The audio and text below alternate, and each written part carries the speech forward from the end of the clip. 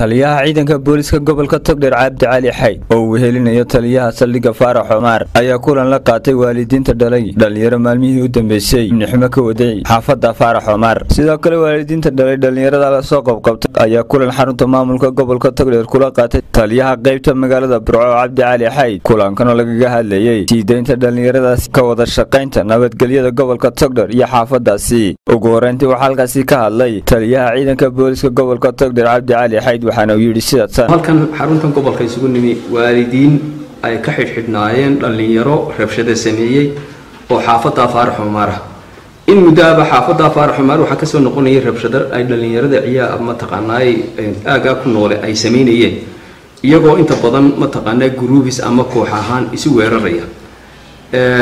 Mar hore way dhacday arrintaasi tallaabaan ka qaadnay. Maantana waxa weeye marlabaadkii weeye marlabaadkii ayaanu soo qabqabannay annagoo eegayna duruufaha iyo wakhtiga adaga lagu jira iyo waalidiinta dhibaatada ay kala kulmayaan dhallinyaradooda ama caruurtooda waxaanu u tixgelinay inaanu maantana aanu mataqaanaayey digniinkama dambaysa siino isla markaana aynu waliba uu soo qoranno taayo sharciya inaanu ilmihiisu dib dambaysa aanu rabshada ugeysan waanu isla qaadanay arrintaasi way naga mataqaanaayey waanu isku mataqaanaa isku raacnay. Waxaa kaloo ay waalidiintu ballan qaadeen inay shaqo iyo ama gacan buuxda naga siin doonaan xaafadda faarax cumaar iyo wixii dhallinyarada rabshada ay samaynayaan.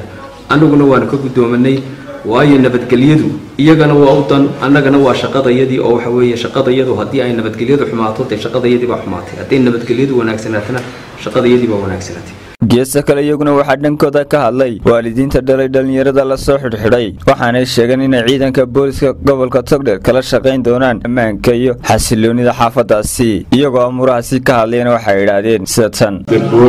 Taliyaha qaybta dhammaan waxaanu ballan qaadnay inaanu rabshadaha jira ee dhallinyarada yaryare ciyaalan yaryare kubada ciyaaraya ay keenaan.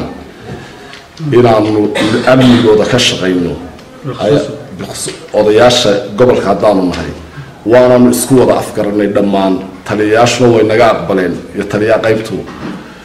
Wixii xidhana maanta la sidaa wixii dambena ammaankooda.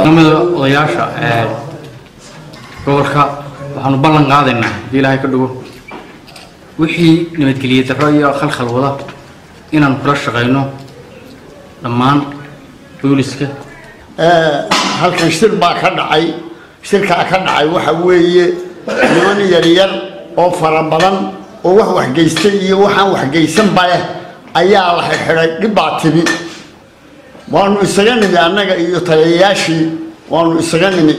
Waxaanu isla garanay maanta in maanta wixii joogana ay sii daayaan wixii dambena lagala shaqeeyo oo laga wada shaqeeyo oo aan laysu dhuuman yaanu isla garanay waxaana laga doonayaa oo aanu kala shaqaynaynaa odayaasha nabadgelyada inaanu dadka kala shaqayno oo aanaan wixii xullaab u yidhi yaanu u diyaarnahay. Iyaguna maanta dadkii mid waxqabay iyo midaan waxqaban waa sii daayeen waana ku mahadsan yihiin waana ka guddoomiye maxamed cabdi badacas juni for t v magaalada burco